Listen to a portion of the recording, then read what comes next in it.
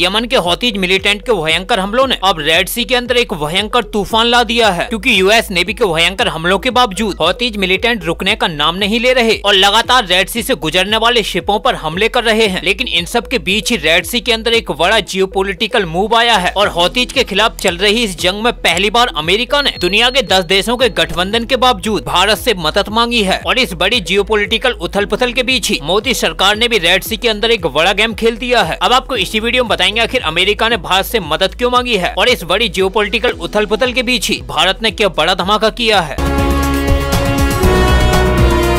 फ़िलहाल सबसे पहले आप लोग ये आर्टिकल देखिए, जिसमें साफ़ है कि US invites India to join naval coalition in Red Sea यानी कि अमेरिका ने भारत को इनवाइट किया है कि रेड सी के अंदर होती आतंकवादियों के हमलों को रोकने के लिए भारत भी अमेरिका के गठबंधन वाले नवल ग्रुप में शामिल हो जाए, क्यूँकी नवंबर ऐसी जिस तरीके ऐसी हौतीज मिलिटेंट ने रेड सी ऐसी गुजरने वाले शिपों आरोप हमले करने शुरू किए हैं, तभी से अमेरिकी नौसेना ने रेड सी का मोर्चा संभाला है, और अब अमेरिका ने चालीस ऐसी अधिक देशों की नौसेनाओं को अपने ग्रुप में शामिल कर लिया है। इसलिए अब अमेरिका ने भी भारत ऐसी कहा है कि हम ऑपरेशन प्रोस्पोरिटी, गार्जियन में भाग लेने से ही क्षेत्र के महत्वपूर्ण जलमार्गों में नेविगेशन की स्वतंत्रता की रक्षा के लिए हमारे साथ जुड़ने में भारत सहित अन्य देशों का भी स्वागत करते हैं। क्योंकि जिस तरीके से हौतीज आतंकवादियों ने रेड सी को ब्लॉक कर दिया है और यूरोप से होने वाले व्यापार को पूरी तरीके से बंद कर दिया है, यहाँ तक कि हौतीज का डर इतना बढ़ गया कि दुनिया भर के व्यापारिक जहाजों ने अपने शिपों का रास्ता ही बदल दिया। और अब ये सिर्फ़ रेड सी से न होकर साउथ अफ्रीका के रास्ते जाते हैं, जो व्यापारिक जहाजों के लिए एक लंबा रूट है, क्योंकि रेड सी के अंदर जो हमले हो रहे हैं, वो हौतीज मिलिटेंट नहीं, बल्कि ईरान करवा रहा है। क्योंकि ईरानी यमन की मिलिट्री को बड़े पैमाने पर ड्रोन और मिसाइलों की सप्लाई कर रहा है। और हौतीज मिलिटेंट ने दुनिया से ये बिल्कुल साफ़ कर दिया है कि जब तक इसराइल गाजा में अपने ऑपरेशन को समाप्त नहीं करेगा, यानी कि इसराइल गाजा के अंदर युद्ध को नहीं रोकेगा, तब तक ये हमले ऐसे ही होते रहेंगे। क्योंकि इस समय इसराइल मल्टी वॉर फेस कर रहा है। क्योंकि एक तरफ़ इसराइल गाजा में एक बड़े ऑपरेशन को अंजाम दे रहा है, वहीं दूसरी तरफ़ इसराइल हिजबुल्ला से भी एक बड़ा युद्ध लड़ रहा है। क्योंकि रिसेंटली इसराइल ने लेबनान में एक बड़ी ड्रोन एयर स्ट्राइक को अंजाम दिया था, जिसमें हिजबुल्ला के 10 मिलिटेंट मारे गए थे। वहीं हिजबुल्ला ने भी कम करते हुए ये बिल्कुल साफ़ कर दिया कि वो आने वाले किसी भी युद्ध से डरते नहीं हैं और वे किसी भी समय युद्ध के लिए तैयार हैं, क्योंकि रिसेंटली इसराइल ने भी बड़ी संख्या में गाजा ऐसी अपने सोल्जर्स को हटाकर लेबनान के बॉर्डर आरोप डिप्लॉय किया है, क्यूँकी इसराइल को भी अब डर है की हिजबुल्ला भी कभी भी इसराइल आरोप हमले कर सकता है। इसलिए अब इसराइल ने अपने बॉर्डर को पूरी तरीके से सील्ड कर दिया है और जिस स्पीड से इसराइल आगे बढ़ रहा है, उससे ये साफ़ है कि इसराइल जल्द ही इस युद्ध को खत्म करके गाजा से हमास का खात्मा कर देगा। लेकिन इसराइल के इस युद्ध ने सबसे बड़ी टेंशन दुनिया के सामने रेड सी में खड़ी कर दी है, क्योंकि हौतीज के हमलों के बाद ग्लोबल मार्केट पूरी तरीके से हिल गया है। इसलिए अमेरिका ने भी भारत को ग्लोबल नेवी ग्रुप में शामिल करने का ऑफ़र दिया है। फ़िलहाल भारत की तरफ़ से अभी तक अमेरिका के इस इन्विटेशन को लेकर कोई भी एक्शन नहीं आया है। लेकिन इस इन्विटेशन के लिए भारत का रुख बिल्कुल साफ़ है की वो अमेरिकी गठबंधन वाले इस ग्लोबल नेवी ग्रुप में शामिल नहीं होगा। हालाँकि भारत लगातार अरबियन सी से लेकर रेड सी तक, समुद्र की पूरी निगरानी कर रहा है, क्योंकि भारत के भी तो मर्चेंट शिपों पर ड्रोन हमले हो चुके हैं। इसलिए भारत ने अपने मिसाइल डेस्ट्रॉयर से लेकर खोजी विमान और फाइटर जेटों को अरबियन सी में उतारा है और लगातार अरबियन सी की निगरानी कर रहा है और अपनी बात जैसी नज़रें यूएस नेवी के गठबंधन वाले ग्रुप के एक्शन पर गड़ा रखी है की आखिर इन देशों का अगला कदम क्या होगा? क्यूँकी भारत के इस नवल ग्रुप ऐसी दूरी बनाने के कई कारण है, क्यूँकी इस नवल ग्रुप ऐसी सऊदी अरेबिया ऐसी लेकर यूएई ऑस्ट्रेलिया और कई और भी देशों ने दूरी बना रखी है। इसलिए भारत भी ये नहीं चाहता कि वो इस ग्लोबल गठबंधन में शामिल होकर अपने पड़ोसी देशों के साथ अपने रिश्तों को बिगाड़ ले। क्योंकि भारत के ईरान के साथ काफ़ी अच्छे रिलेशन है और भारत खाड़ी के भी देशों में लगातार अपनी पकड़ को मज़बूत करना चाहता है। क्योंकि भारत इन अरब के देशों में कई डिफेंस डीलें भी साइन करने वाला है। बस यही वजह है की भारत अमेरिकी गठबंधन में शामिल नहीं होना चाहता। हाल की देखना होगा की भारत का अगला कदम क्या होता है। लेकिन फ़िलहाल के लिए इस वीडियो में इतना ही। मिलते हैं एक नई वीडियो के साथ। तब तक के लिए जय हिंद, जय भारत।